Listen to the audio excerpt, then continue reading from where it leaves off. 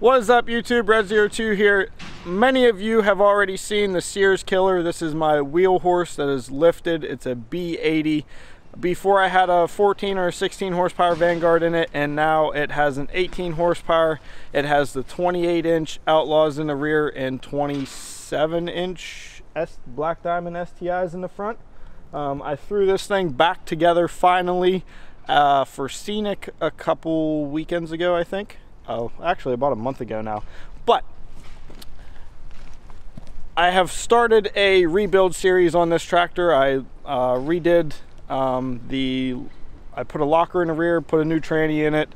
I did a larger engine pulley from what was on it before and then I swapped out tires. So we're gonna go ahead and do some video of me uh, riding this thing around because uh, it's getting torn back apart this weekend and getting redone for a second time. So. So before we go ahead and get this started, I just want to say I hope each one of you had a wonderful holiday and a happy new year. 2020 was an awful year for multiple reasons, but it was actually quite an awesome year for the off-road mower community. And um, shooting into 2021, I would like to make 2021 even better for the mower community. So I brought back a build that has um, been on the back burner for a long time and we're going to do something crazy with it this year and hopefully it's something that's never been done before. So we can talk about the elephant in the room. There is a V-twin diesel horizontal shaft engine here. This is the first one that I've seen in the United States in person. I've seen a few in the past several years uh, on YouTube and other different sites, but I've never seen one in person. Um, we'll go back to that.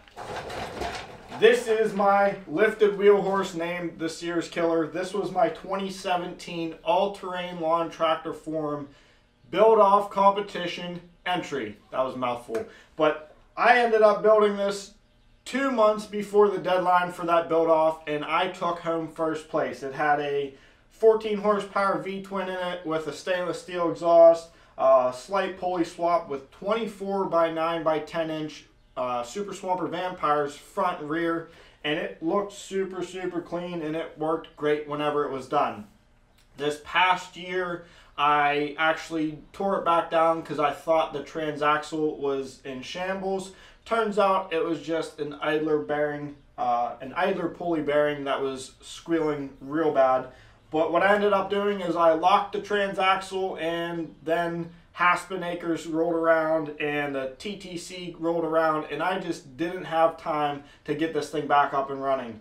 Uh, right before Scenic Trails, this past November 14th, I was told that I had to bring this and enter it in the King of the Bog, which uh, actually these 28 inch Outlaws were on the rear. I had some 27 inch STIs on the front and 18 horsepower Vanguard with um, valve springs and retainers along with advancing the timing. And I now have a lock transaxle and I bumped up the engine pulley to get a little bit more speed and I ended up actually Craftsman Quad uh, Cooper he took home first place for the King of the Bog on this tractor.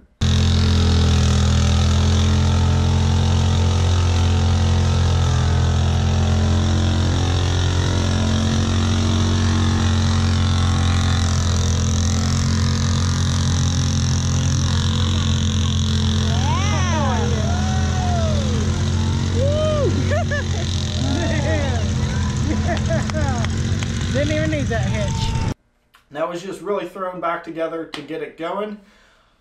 But two, three weeks before Scenic, so two weeks, two to three weeks before Scenic Trails, I got a message on Facebook late at night from Hillbilly Off-Roading on YouTube. Super, super big shout out for to him for sharing this engine with it. Uh, somebody else actually found the engine in the mower community, but they didn't personally send it to me.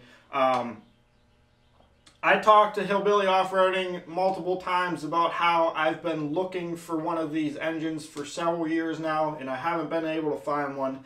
There's a 25 horsepower version of this that is on um, eBay that uh, comes from China. It's about $2,000 for one of these engines brand new and they've been out of stock for a while now. I'm not sure if they're back in stock now, but I've been debating for the last couple years to bite the bullet and buy one of these engines. Um, big shout out to him for sending this link to me. It was on Facebook Marketplace. It was all the way out in Indiana.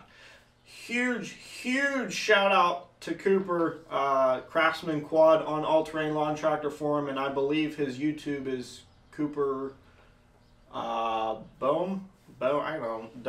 darn last name. But um, I'll link him down in the description. You can check him out. He's been at Haspin the past uh, couple years, and uh, he's a really good friend of mine. I called up Cooper because he lives out in Indiana, and uh, he was nice enough to uh, go out. Uh, believe the engine was about an hour and a half from his house. He went out and bought the engine for me, and then, better yet, I convinced him to come meet me at Scenic Trails and deliver me the engine. So super, super big shout out to him for helping me get this engine. There was a lot of people that were had a lot of interest in this motor, but for some some odd reason, I was lucky enough to be able to scoop this up before anyone else. Um, it's a 20 horsepower. I think it's a Punsun P U N S U N. That's what's on the flywheel cover here. Now, it's a lot bigger than a Vanguard, so I might have to do some hood trimming to get it in there. But for right now, we're going to put this 20 horsepower diesel into the Wheel Horse B80 named the Sears Killer. Um, first off, I'm going to get it running, everything hooked up, make sure it works, and then later on, we're going to be turbocharging it. So I'm really hoping that this is going to be the first twin cylinder, V-twin uh, turbo diesel mud mower on the internet. Um, this is going to be a really fun project.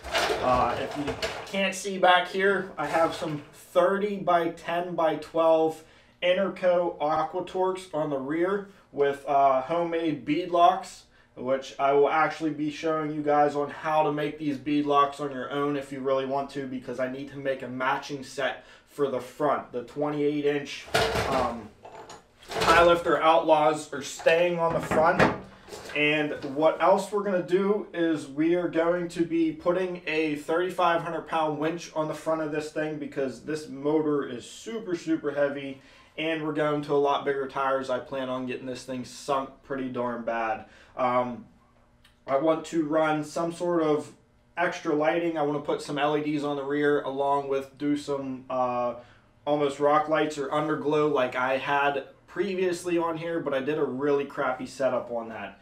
The other interesting thing is the Wheelhorse 520H, I believe it is, has a swept front axle, which that means is sitting on the tractor, the axle kind of goes like this towards the front.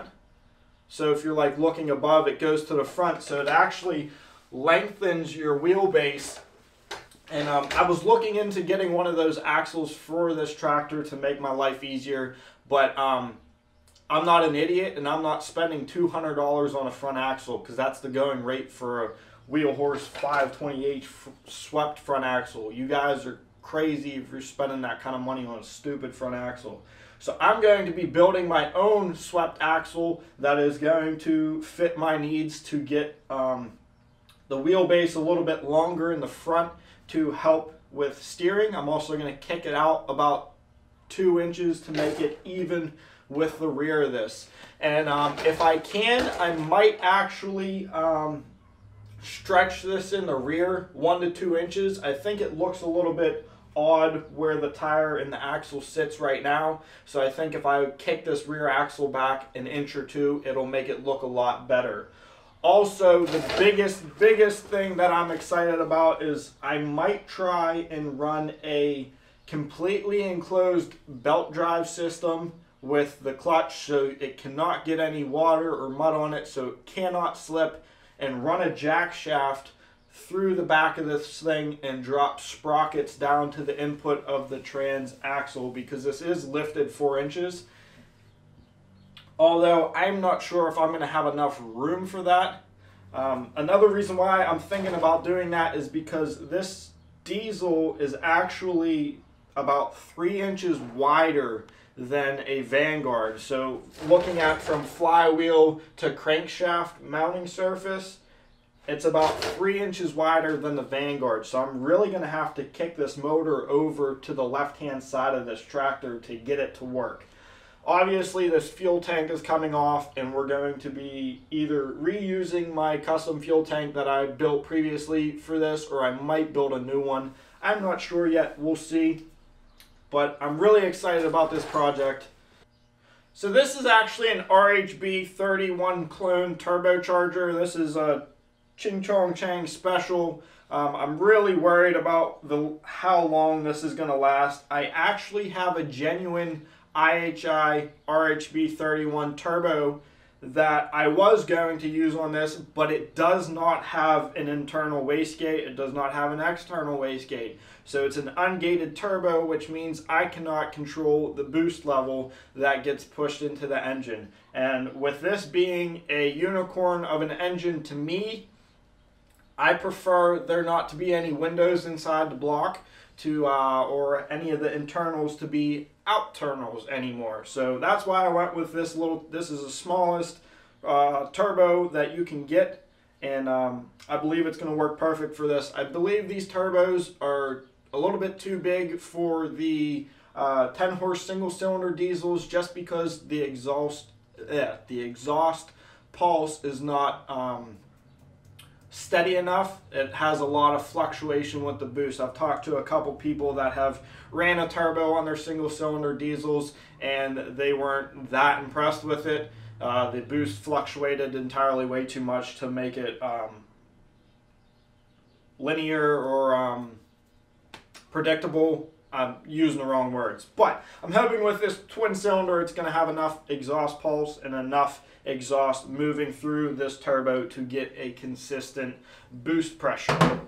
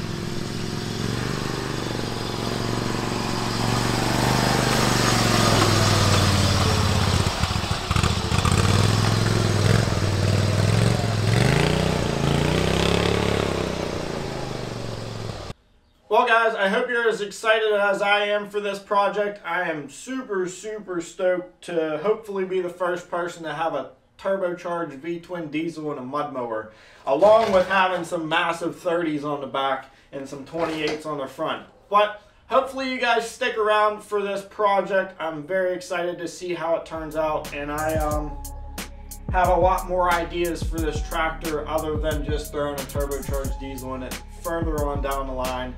Um, if you want, go follow my Facebook page. It's Red02. Um, I'll link it down in the description. I'm probably going to be posting up a lot more pictures on Facebook of the tractor uh, as a as I build along alongside the videos. So if you want to see all those pictures, make sure you go follow me there.